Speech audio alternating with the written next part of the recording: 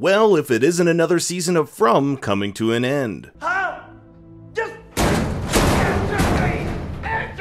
And I think I found out the problem of the show. The problem is there's too much we don't know. Well, that's putting it lightly, Jade. Thankfully, I've spent too much time rewatching this season over and over again, searching for clues on just what the hell is going on. And in this video, we'll be taking a deep dive into its ending and what it could mean for season 3. And yes, I'll be sprinkling in new information about that cryptic season 1 cave painting as we go along. As always, I've left timestamps below to all the topics I'll be covering. Now get ready to climb the lighthouse, because here we go. Last episode left us with Julie, Marielle, and Randall looking like me after trying to figure out what's going on. It appears they are the three chosen to replace the three bodies from the medieval chamber Boyd discovered in the first two episodes. And they are connected to the first three lines of the nursery rhyme heard in episode 8. They touch, they break, they steal. Marielle stole morphine, Randall pretty much breaks everything around him, and he also stole Donna's car keys and tossed them into the forest.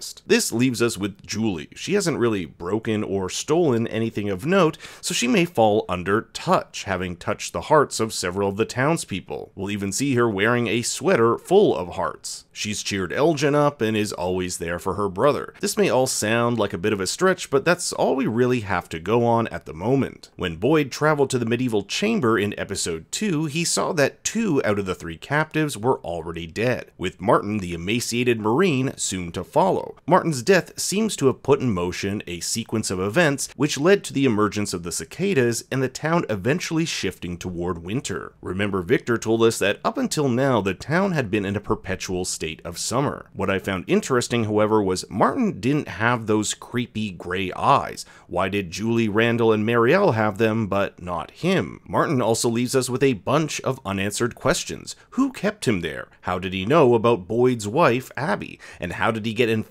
by those worms which he'll later pass on to Boyd? We also don't know if our Curse 3 saw anything while in their comas. We see them scream, reacting to something, but will any of them have memories of what happened when they were unconscious? When Boyd finally breaks the music box, it seems to release the three from their spell, but as the ghost of Boyd's wife will warn him, this only delays the inevitable. Later on in the video, I'll talk a bit more about who's orchestrating this spell and their motives in doing so. The finale also reintroduces us to the boy in white, who we haven't seen since the finale of season 1. Victor tells Tabitha that it was the boy in white who told him to wait in the caves for her in the finale. If this is true, it implies that he can foresee the future. Victor also knew the amount of graves to make the night Colony House was attacked. So this information probably came from the boy in white. While searching through the forest, Boyd wants to know if Sarah knows anything about this boy in white, to which she responds, I don't think he really was a little boy. This quote unquote boy is likely decades old and doesn't age. He's the same age when Victor finds the town has been massacred, and judging by his clothing, it looks like he could have been born any time from the early 1900s to 50s. While the boy in white seems to be evil by pushing Tabitha out of the lighthouse, he first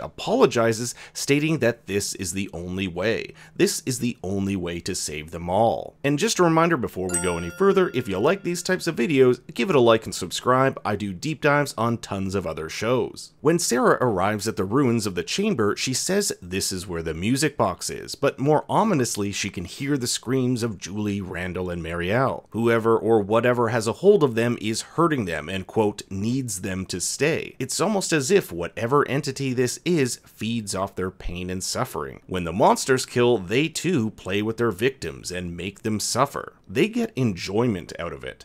made me watch. They said they wanted to play with.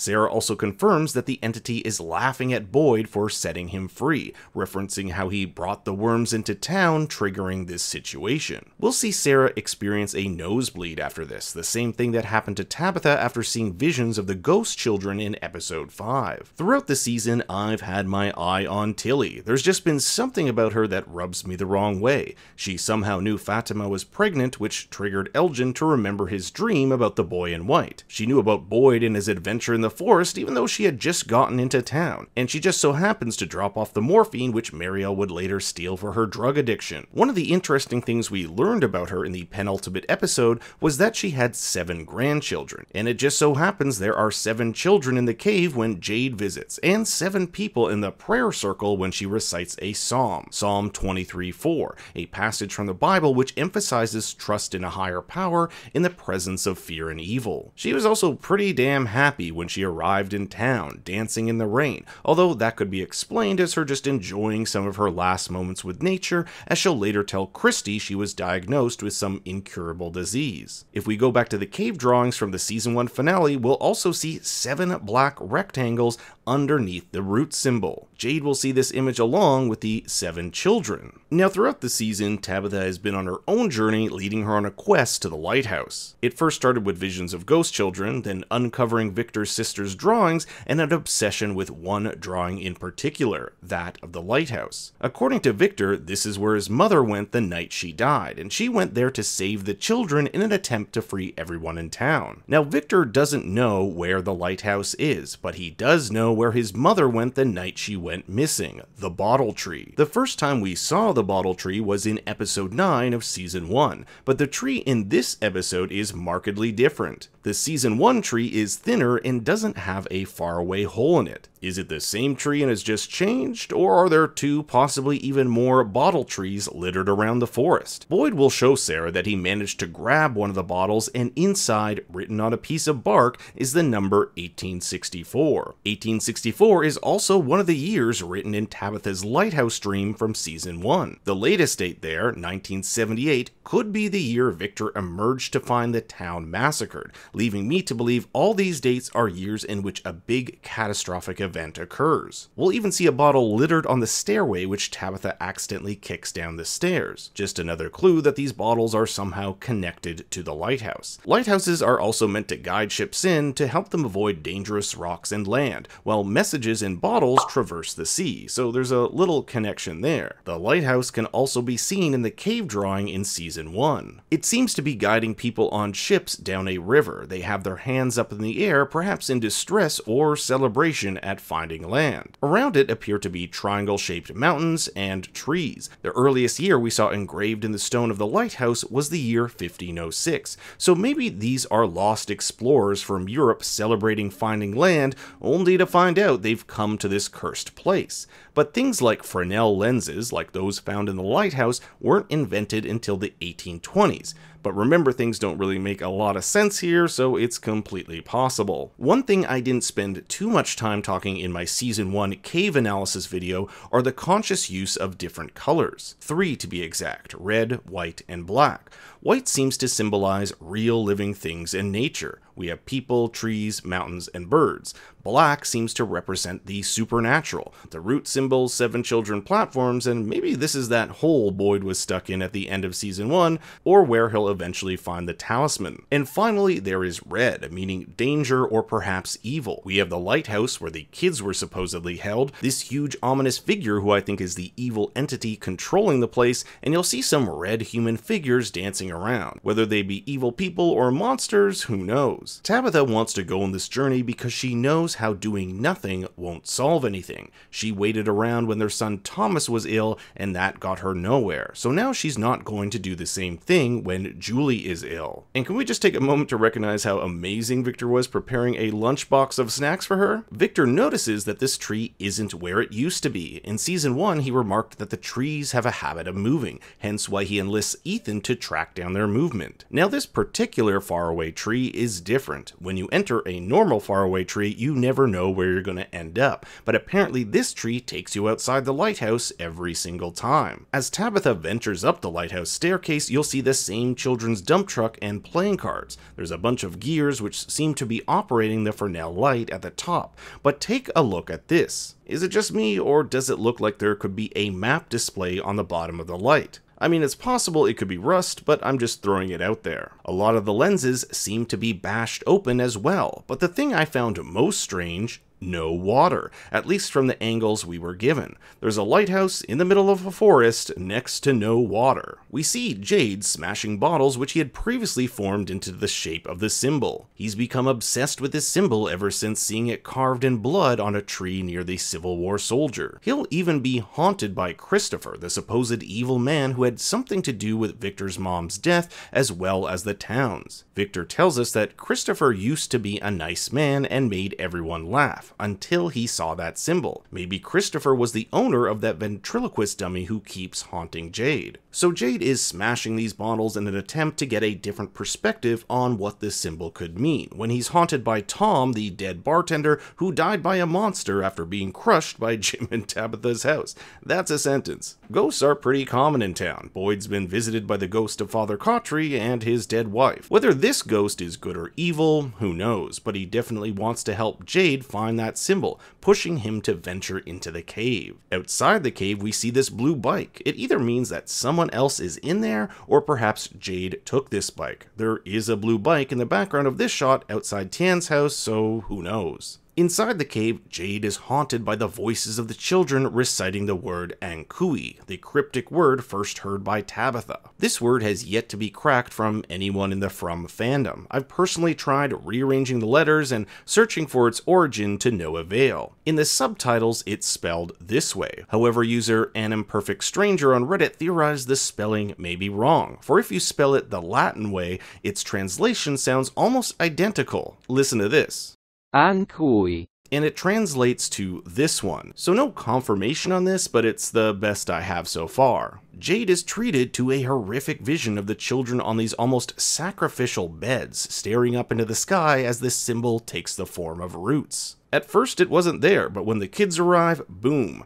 Personally, these roots also look pretty disgusting and almost worm-like, and worms were seen in the finale of season 1 and also in Boyd's skin. No telling where these roots lead, but if I had to hazard a guess, it could be the bottle tree or some other faraway tree. Perhaps these roots create a network of faraway trees, and as quick as the kids came, they vanish, leaving Jade and me like, My life. more than any other episode, the finale tackles grander themes of chaos and fate and light and darkness. Boyd mentions that Khatri never lost faith, even in his dying moments. In season 1, episode 6, Khatri says, chaos and faith. That is the duality of our existence. Jade brings up chaos theory, that even though things may seem chaotic, it's all part of a big, beautiful plan. Kristi used to believe in a grand design, but now she doesn't, with Kenny countering with a saying of his father's. It's hard to see the sweater when you're only just a thread. It's a metaphor for the show itself. Even though everything seems chaotic and that it doesn't make sense, we're just a thread unable to see the sweater or the grander picture. The episode also placed a lot of emphasis on light and darkness. In their marriage ceremony, Ellis talks about Fatima being his light that guides him through the darkness. This prompts Boyd to gather his torch and make his way back to the ruins. Light and dark places.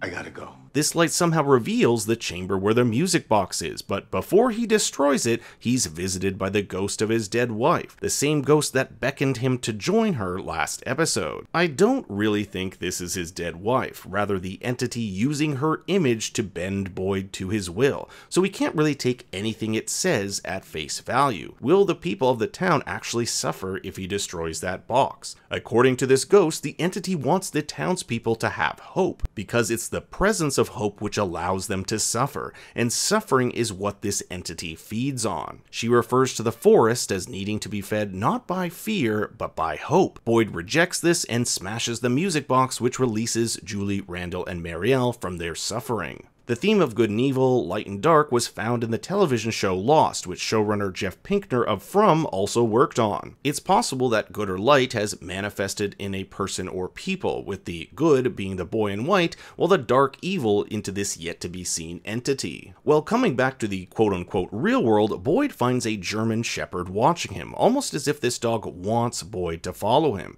This isn't the first time we've seen this dog. It appears to belong to the boy in white, and like him, doesn't age aged since we see him in Victor's flashback as a child. Victor's even made drawings of him. But there's this other cryptic drawing showing what could be Victor and his mom, or his sister, next to a dog, and this calls into question whether the dog is really the boy in white or Victor's. While searching for Ethan in season 1, Jim and Tabitha find the dog in the forest, and in episode 8 of season 1, it was a German Shepherd Boyd followed, which led him to the discovery of the talisman. So it appears this dog has good intentions. Finally, the thing everyone's going to be talking about Tabitha waking up in the hospital. After venturing up the lighthouse and hearing the whispers of the children saying Anghkooey, she is thrown off the top by the boy in white only to awaken in the real world. According to the doctor, she was found three days ago by a group of hikers in the forest. It's important to note here that Tabitha is never mentioned by name, so we're unsure if the doctor actually knows her identity.